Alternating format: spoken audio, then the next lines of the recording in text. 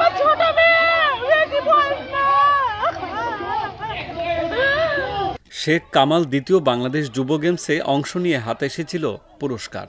তবে সেই পুরস্কার নিয়ে ঘরে ফেরা হয়নি রাজশাহীর এগারো খেলোয়াড়ের।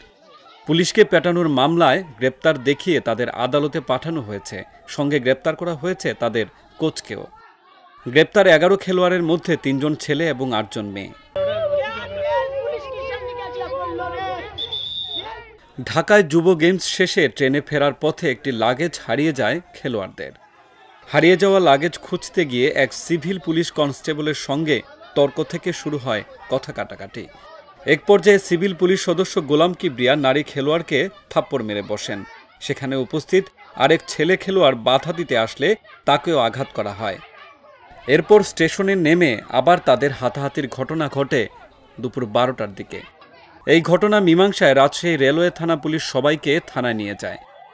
পরবর্তীতে বিকেলে গোলাম কিবরিয়ার স্ত্রী রাজিয়া সুলতানা বাদী হয়ে তেরো জনের বিরুদ্ধে পুলিশ সদস্যকে পেটানো এবং চেইন চুরির মামলা দায়ের করেন।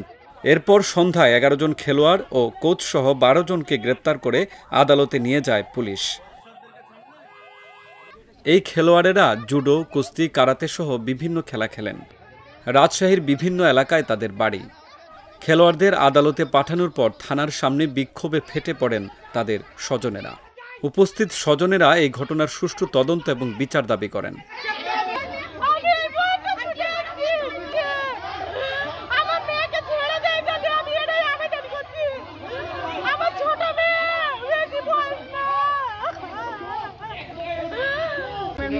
দিয়েছি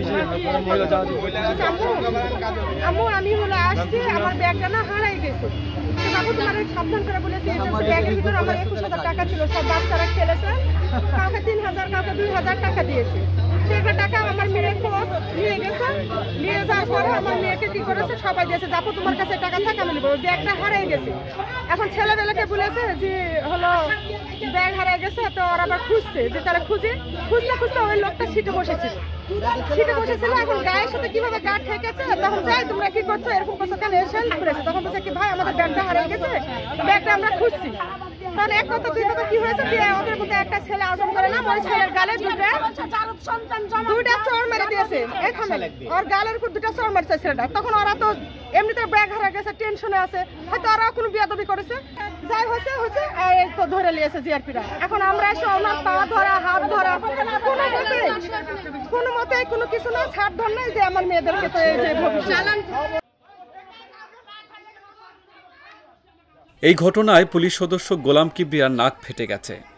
তাকে রাজশাহী মেডিকেল কলেজ হাসপাতালে ভর্তি করা হয়েছে।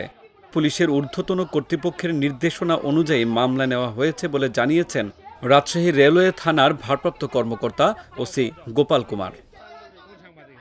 এই সাহস আমার নাই যে আমি এতগুলো প্লেয়ারে ধরে চালান দিতে মানে উইদাউট কনসার্ট অলরেডি যেখানে জানে মানে রিশালাইজ লেভেলের অফিসাররা জানে। এটা ইস্যু হবে কি ঠিক আছে ইস্যু তো হওয়ার মতো যদি এখন আপনি যদি আপনার বক্তব্য না দেন আপনি তো।